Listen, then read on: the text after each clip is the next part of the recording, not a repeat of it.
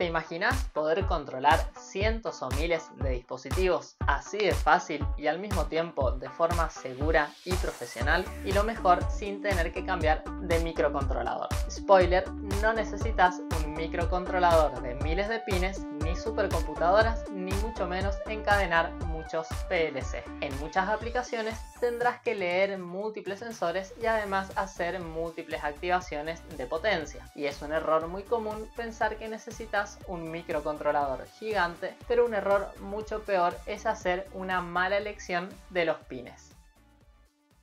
Soy fundador y CTO de Trebol Argentina, con más de 700 desarrollos para la industria y recientemente certificados por normativa IPC internacional en diseño de circuitos impresos, debo decirte algo. No todos los pines GPIO de un microcontrolador son aptos para todo ni se comportan de igual manera. Y esto es así principalmente por tres motivos. En primer lugar, muchos pines tienen funciones reservadas y la recomendación es clara, no usar o no conectar. En segundo lugar, muchos pines tienen comportamientos definidos extraños por defecto en el boot o reseteo. Por ejemplo, muchos pines del ESP32 o ESP8266 se comportan como high on boot. Esto quiere decir que si estábamos usando una lógica de activación por alto para una carga de potencia, durante el reseteo o boot puede ocurrir un desastre.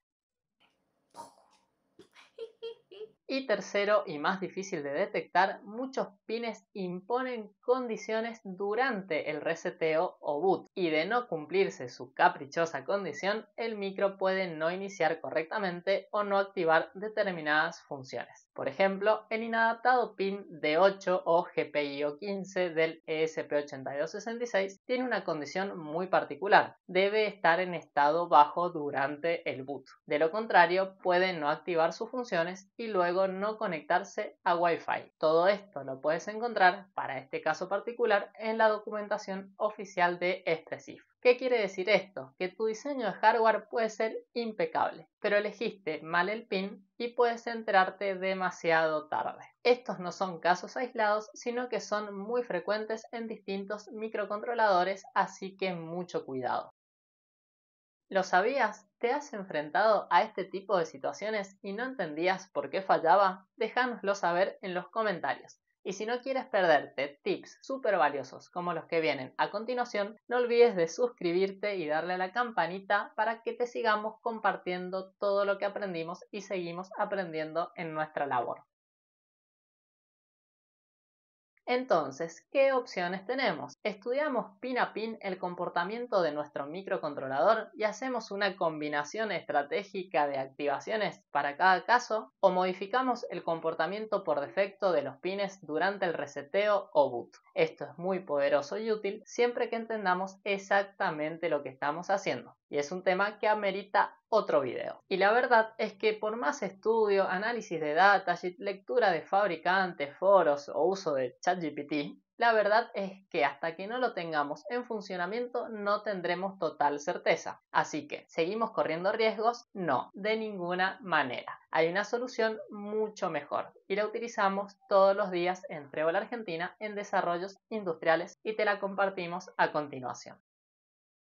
Y la clave es esta, multiplica tus salidas con solo dos pines y sin correr riesgo, utilizando el protocolo I cuadrado C y dispositivos que lo implementan. Y no te asustes si es la primera vez que escuchas este concepto del I cuadrado C, I2C, TWI, Wire, como sea. O de hecho si lo has visto por todos lados pero nunca se te había ocurrido usarlo a tu favor. O si has visto alguna vez un display clásico alfanumérico 16x02 o 20x04 verás que por detrás hoy en día prácticamente todos vienen con un adaptador que contiene uno de estos dispositivos. Y aunque no lo creas, I cuadrado C fue inventado en 1982 por Philips Semiconductors, hoy NXP, y los primeros integrados con I cuadrado C surgieron a mediados de los 80 como expansores y multiplexores. Y uno de los más difundidos sin duda es el glorioso PCF8574, ya sea en su formato THT o SMD, que expande de 2 pines a 8 pines. Pero también tenemos otras variantes, como el PCF8574A, que también expande a 8 pines, pero tiene otro rango de direcciones o el PCF8575 que expande a 16 pines. Y te sorprenderás de lo fácil que es utilizarlos. Hoy en día nos sorprende aún ver la cantidad de soluciones dando vueltas súper complejas y rebuscadas por no conocer estos chips y sus principios. ¿Y qué es I cuadrado C y por qué es tan poderoso? Simplemente es un protocolo de comunicación serial que utiliza dos líneas, SDA de datos y SCL de reloj, donde cada dispositivo en el bus puede comunicarse y distinguirse con una dirección única, sin que se pisen entre sí. Es decir, son como los cables de un tendido de una red eléctrica donde literalmente muchas casas pueden colgarse de los mismos para abastecerse de energía y cómo lo logra sin explotar nada en el intento y que todos los dispositivos a su vez se puedan entender sin problemas y es por el tipo de salida que utiliza, que básicamente los podemos distinguir en dos tipos. Tenemos Open Collector y Push Pull. En Push Pull los estados lógicos bajo y alto se establecen eléctricamente, es decir, hacia GND o BCC. Por el contrario, en Open Collector o colector abierto, como es el caso de I cuadrado C y otras variantes, solo se establece el estado 0 eléctricamente y el estado opuesto queda abierto y solo se establece el estado alto a través de una resistencia única denominada de pull-up. Y esto permite conectar cientos o miles de dispositivos al mismo tiempo sin riesgo de cortocircuito, ya que si ambos intentaran hablar al mismo tiempo y enviaran estados lógicos opuestos en un mismo instante, simplemente gana el 0 o GND sobre la resistencia de pull-up y luego podrán haber reintentos de comunicación y otras estrategias, pero no explota nada.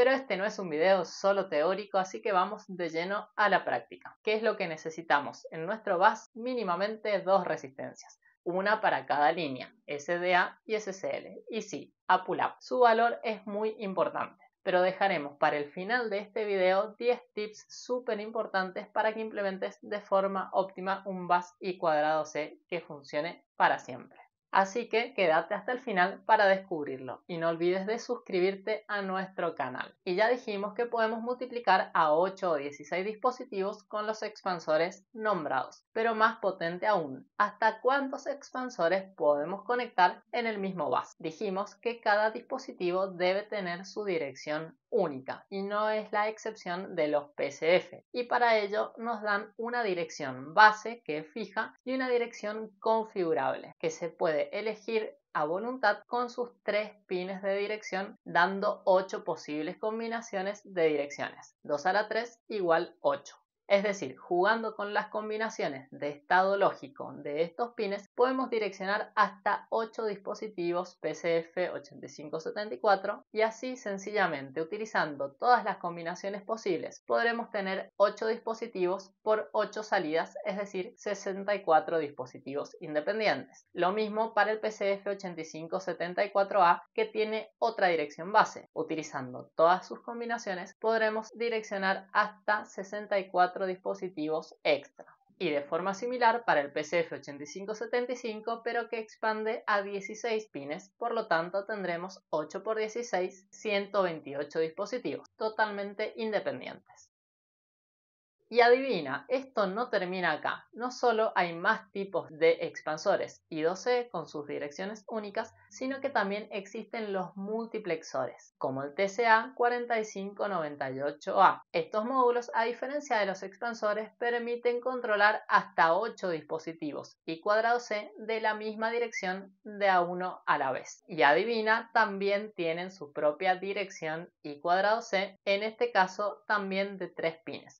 Así que también podemos utilizar 8 multiplexores tipo TCA con la misma dirección base para seguir multiplicando y multiplicando la cantidad de dispositivos en nuestro sistema. ¿Y qué es lo mejor de todo? Que este método es 100% modular y escalable. Es decir, puedes aplicar el método del rompecabezas que te enseñamos en otro de nuestros videos, el cual realmente marca un antes y un después en tus diseños de PCB. Si no lo has visto, te recomiendo que lo hagas ahora mismo, te lo dejamos por aquí o por aquí.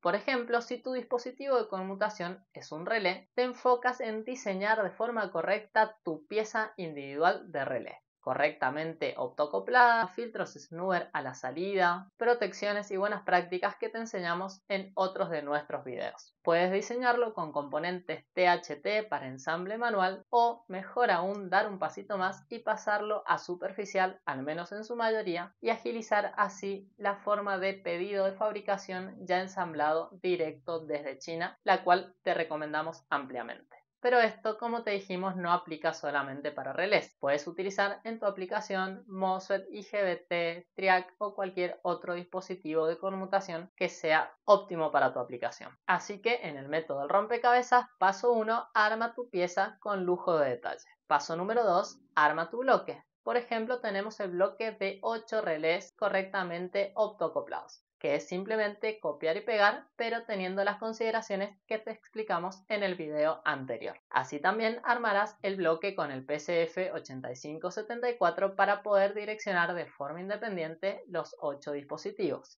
un bloque alimentación y todos los necesarios para tu correcto sistema.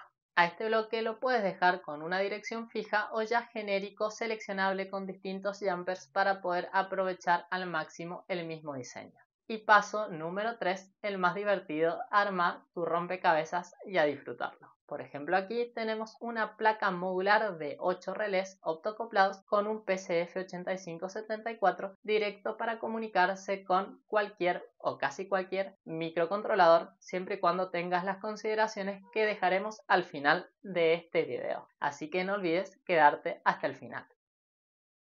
De manera similar, puedes expandir tu diseño con 16 dispositivos de conmutación y para eso utilizas dos bloques completos de los anteriores, es decir, dos PCF8574, cada uno con su dirección y ahora 16 relés. Y adivina, lo mismo puedes hacer para un diseño de 24 dispositivos y así sucesivamente puedes distribuirlo de la manera más adecuada para tu aplicación y utilizar el microcontrolador de tu preferencia. Y por código en programación realmente es muy sencillo de implementar y configurar. Déjanos saber en los comentarios si te gustaría ver la segunda parte de este video en la cual te mostramos paso a paso cómo configurarlo adecuadamente desde tu software leyendo las direcciones y cuadrados C presentes y otras consideraciones muy importantes. Ahora, todo esto que se ve así de fácil es copiar y pegar, multiplicar y multiplicar y todo funciona a la primera? No, de ninguna manera. Es por eso que hemos armado las 10 claves más importantes a tener en cuenta para que diseñes tu bus y cuadrado C óptimo en un diseño de PCB robusto y funcional. En primer lugar, puedes conectar miles de dispositivos de conmutación, pero esto no es instantáneo, en especial si usas multiplexores en los cuales se puede elegir de a un dispositivo a la vez de los 8 que tienes disponibles, mientras que en los expansores de 8 o 16 canales sí se pueden hacer activaciones simultáneas de ese grupo, incluso modificar el estado de uno sin alterar el estado de los otros, lo cual es muy eficiente. En segundo lugar, presta mucha atención a los niveles lógicos de tu nuevo sistema y tu microcontrolador. Por ejemplo, el PCF8574 en el diseño mostrado trabaja con niveles de 5 volt, mientras que un ESP32, ESP8266 y otros microcontroladores trabajan a 3.3 volt y debemos compatibilizar las tensiones a ambos lados en el bus y cuadrado C. Por lo tanto, deberás usar convertidores lógicos de tensión cuando aplica y para ello también hemos generado un video para vos que lo puedes encontrar por aquí o por aquí. En tercer lugar, el único requisito para el microcontrolador es que disponga I cuadrado C por hardware, pero también se lo puede implementar por software. Es decir, puedes usar prácticamente casi cualquier microcontrolador moderno o decente, incluso algunos de 8 pines que implementan I cuadrado C por hardware.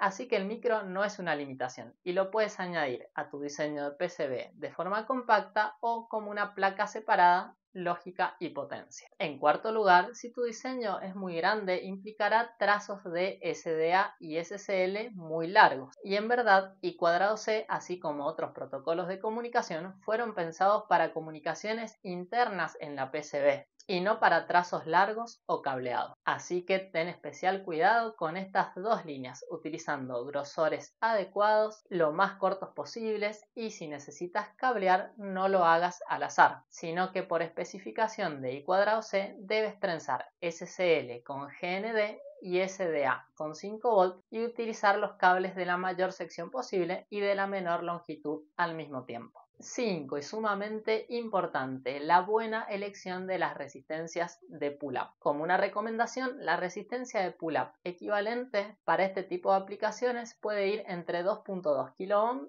y 4.7 kΩ como máximo. Y en la gran mayoría de módulos comerciales ya traen incorporadas resistencias de pull-up muy débiles, de valores de 10 kΩ, los cuales no son adecuados para comunicaciones robustas. Y ten en cuenta, si utilizas estos módulos y agregas resistencias de pull-up en tu PCB, que quedarán en paralelo con las mismas afectando su valor. Un valor demasiado bajo implicará un consumo excesivo que puede quemar los puertos, mientras que un valor demasiado alto provocará fallos en la comunicación y errores inesperados. Sexto, los flancos en la comunicación I cuadrado C no serán perfectos, dependiendo de la resistencia de pull-up elegida en el punto anterior y de la capacitancia parásita de tu PCB. De allí la importancia de diseñar tu propia PCB de forma robusta y evitar módulos comerciales que tienen mala resistencia de pull-up y alta capacitancia parásita, lo cual se traduce en lugar de señales cuadradas perfectas, señales redondeadas que son muy peligrosas. Número 7. Agrega resistencias en serie cuando aplica para cada dispositivo y en cada línea y cuadrado C. También por especificación de este estándar. Un valor adecuado para este tipo de aplicaciones puede ser de 100 ohm para cada línea y cada dispositivo. Número 8. Ten muy presente en tu aplicación real cuántos dispositivos pueden estar activados al mismo tiempo y también cuántas activaciones y desactivaciones simultáneas se pueden presentar, ya que no es lo mismo en un diseño de 100 relés que estén activados dos o tres simultáneamente o que estén los 100. Y esto servirá para dimensionar la fuente de tensión del lado de potencia. Número 9. Y si has llegado hasta aquí, no es opcional. Un buen diseño de PCB óptimo, con un trazado adecuado de las pistas, un dimensionamiento adecuado del grosor de las pistas, de las vías, de los pads, configuración de reglas de diseño, relleno de GND correctamente implementado, conexionado estrella interno y externo a la PCB, desacoples, filtros, etc. Es decir, nada menos que lo que enseñamos paso a paso y desde cero en nuestro curso de diseño de PCB esencial, el cual realmente no podés perderte la oportunidad de ser parte hoy con acceso de por vida y beneficios imperdibles. Te dejamos toda la información aquí abajo para que te sumes. El 10 y más importante porque pasamos por ahí y no queremos que cometas los mismos errores, no reinventes la rueda. No tienes que crear todo desde cero cada vez y cometer mil errores en cada paso que das. Y es por esto que creamos también para vos kits de diseño listos para utilizar, reutilizar y adaptar a tus diseños, como por ejemplo el bloque de 8 relés con PCF8574 que acabamos de mostrarte en este video. Te dejamos también toda la información aquí abajo para que vayas a ver estos kits imperdibles y cuadrado C no solamente sirve como expansor de pines, también muchísimos dispositivos de todo tipo como sensores lo incorporan y adivina, puedes colgarte al mismo bus de tu mismo microcontrolador para leerlos sin problema. Siempre que tengas en cuenta las consideraciones que te enseñamos en este video podrás aprovecharlos de forma óptima. Mira todo lo que puedes hacer con solo dos pins, SDA y SCL. Si este video te ha inspirado y te va a ayudar a hacer escalar y crecer tus proyectos en forma profesional, por favor no olvides de suscribirte y darle a la campanita porque créeme que tenemos mucho más contenido de valor para vos. Nos vemos en los próximos videos y en el curso de diseño de PCB esencial. Chau chau.